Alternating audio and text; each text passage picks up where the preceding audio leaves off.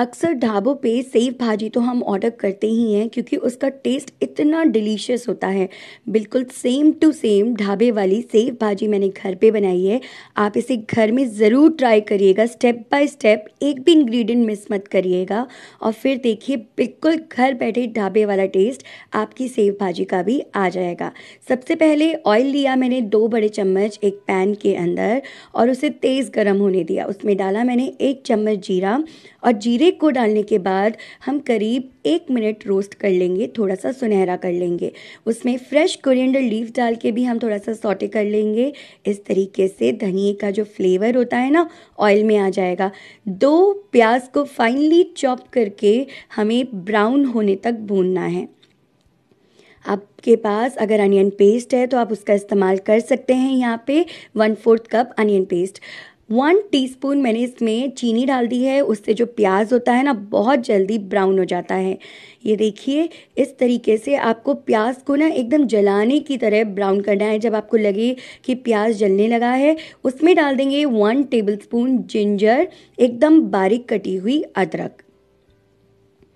प्याज को कंटिन्यूसली चलाते जाइए रोस्ट करते जाइए। दो टेबलस्पून गार्लिक हमने इसमें भर कर गार्लिक डाला है। इसका टेस्ट बहुत अच्छा आता है।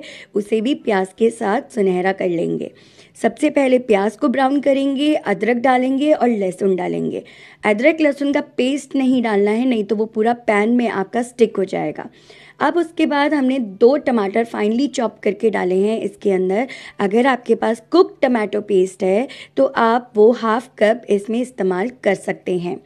ये देखिए, अच्छे से प्याज को, टमाटर को बहुत अच्छे से पका लीजिए कि जो टमाटर है ना, बिल्कुल गल जाना चाहिए, इतना आपको पकाना है। गैस का फ्लेम मैंने तेज़ ही रखा है।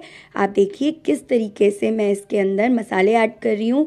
एक चम्मच मैंने डाला कश्मीरी लाल मिर्ची पाउडर और वन फोर्थ टीस्पून हल्दी। बहुत थोड़ी सी हल्दी जाती है और एक चम्मच भर के मैंने कश्मीरी लाल मिर्ची का डाल दिया, जिसका तीखापन बहुत कम होता है, सिर्फ़ रंग अच्छा आता है। साथ में एक चम्मच बटर। अब यहाँ पे ध्यान दीजिए कि इस सब्ज़ी में मैं नमक बहुत कम डालूँगी क्योंकि मैं अमूल बटर का इस्तेमाल कर रही हूँ, जिसमें ऑलरेडी काफ़ी नमक होता है। तो अगर आप बटर में सब्ज़ी बना रहे हैं तो नमक बिल्कुल कम डालिए टेस्ट करके डालिए, नहीं तो नमक तेज़ हो जाएगा सब्ज़ी में।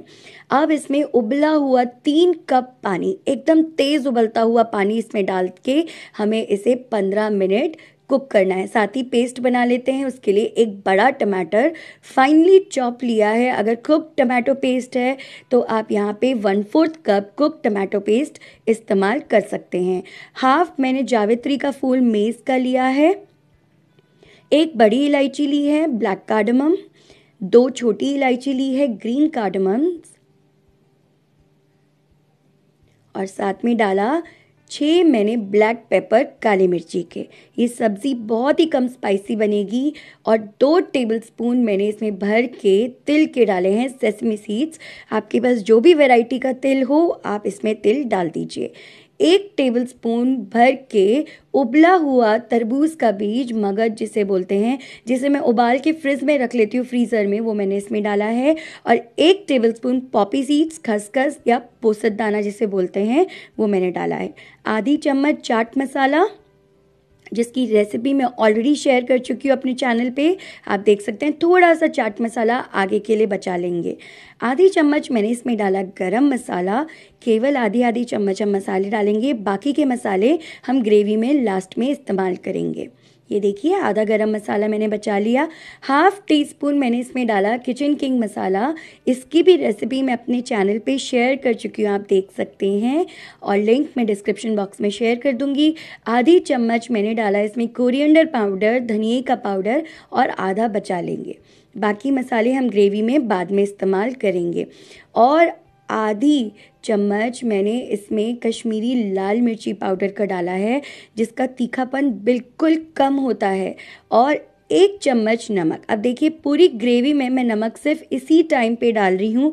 बाकी टाइम पे मैं नमक ऐड नहीं करूँगी, यहाँ पे भी मैं नमक थोड़ा सा ऐड कर रही हूँ, और एक टेबलस्पून जिंजर गार्लिक पेस्ट जिसकी रेसिपी मैं अपनी चिली पनीर वाली रेसिपी में शेयर कर चुकी हूँ, और साथ में दो टेबलस्पून मोटी वाली सेव, जो कि फीकी होती है। और ग्रीन चिलीज़ मैंने इसके अंदर डाल दी है, और साथ में वन फोर्थ टी स्पून हल्दी, ये जो सेकेंड टाइम मैं इस्तेमाल कर रही हूँ ग्रेवी के पेस्ट बनाने में। और ये ठंडा पानी मैंने लिया है मिक्सी के जार में करीब आधा कप, जिससे मैं एकदम फाइन पेस्ट बना लूँगी। जितने भी मसाले हैं, उसे एकदम पेस्ट में कन्वर्ट कर लिया है, मिक्सी में पीस लिया है।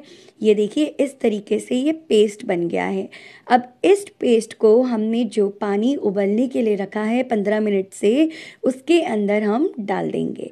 ये देखिए, ये जो पानी है करीब पंद्रह मिनट हो चुका है रिड्यूस भी हो गया है उबलते हुए मसाले को। उसमें हमने ये ग्रेवी डाल दी है जो हमने तैयार करी है पेस्ट बिल्कुल सेम प्रोसेस अगर आप फॉलो करेंगे ना तो यकीन मानिए बिल्कुल घर बैठे जो हाईवे के ढाबे का टेस्ट होता है, वो आपकी सब्जियों में भी आएगा। इसे ढक के हमें कंटिन्यूसली चलाते भी जाना है, ढक के भी पकाना है। अगर आप ढकेंगे नहीं तो ये बहुत ज़्यादा छीटे उछलेंगे सब्ज़ी के और पूरा किचन आपका गंदा हो जाएगा। इसलिए ढक के ऑयल छूटने तक कंटिन्यूसली स्टर करना भी ज़रूरी है, नहीं तो इसके अंदर मोटी सेव है, उसकी वजह से बेसन होने की वजह से ये नीचे स्टिक हो सकता है। इसलिए कंटिन्यूसली चलाते जाइए ऑयल छूटने तक और ढक के इसे स्लो फ्लेम पर हमने इसे पकाया है। देखिए कंटिन्यूसली करीब सात से आठ मिनट या दस मिनट समझ लीजिए, मैंने इसे पकाया है। स्लो फ्लेम पर और ऑयल बिल्कुल रिलीज़ होना शुरू हो चुका है। इस तरीके से जब सब्ज़ी आपको लगे कि ऑयल रिलीज़ कर दे, हम उसमें डालेंगे वन टेबलस्पून बटर का।